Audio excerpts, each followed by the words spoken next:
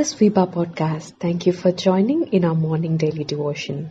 There is an interesting reason as to why planes cannot fly through volcanic ash. Some of the facts presented after a test done showed the extent to which the ash could damage the hardware of an airplane. The inner cooling components were clogged, the fan blades were gouged, the engines heated to a very high temperature. The plumes can degrade the aircraft windows. One of the most important reasons is that the plume can be hard to detect. The pilots cannot exactly distinguish what they are trying to avoid. In Proverbs chapter 1 verse 7 we read, "The fear of the Lord is the beginning of knowledge, but fools despise wisdom and instruction." Wisdom to administer justice. Now with wisdom there is an aspect of it and it is called judgment. The ability to judge righteous judgment. Jesus said that in the book of John. He told the Pharisees to learn to judge righteous judgment. The Pharisees, because of their blindness to the reality of what they were and in their self righteousness, they could not understand properly what good judgment was. So, what is judgment? Judgment is the capacity to assess a situation and to draw sound conclusions. This is possible only if we have a right heart towards God.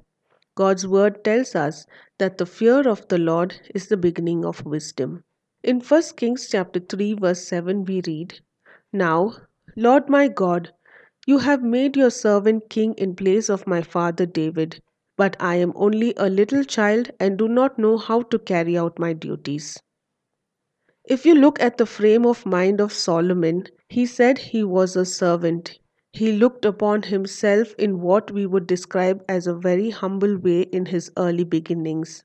We see how God began to work with him and why God worked with him in the way he did because of his attitude towards God and towards his law. It is only with God's wisdom can we administer justice. Wisdom to warn. Ecclesiastes chapter 4 verse 13 we read, Better a poor but wise youth than an old but foolish king who no longer knows how to heed a warning.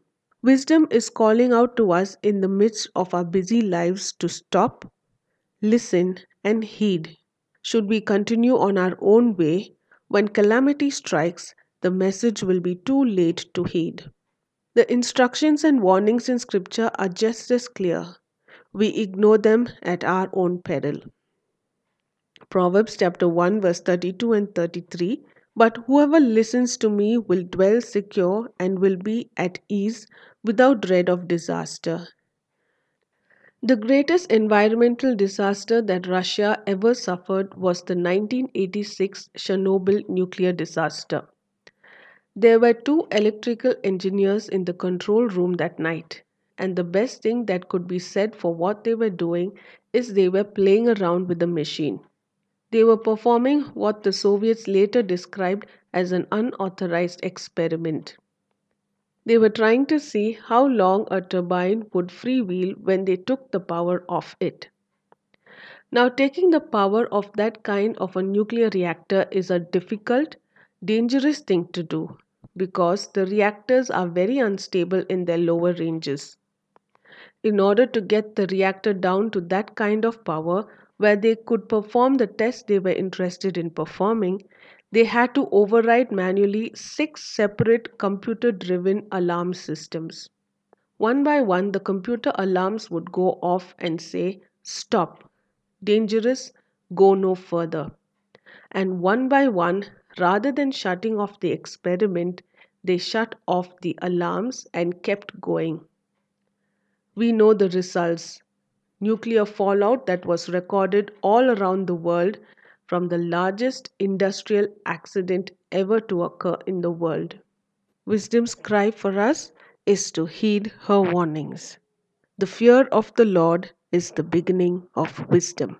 For more details, please contact 916364252164 or email us to info at febaonline.org.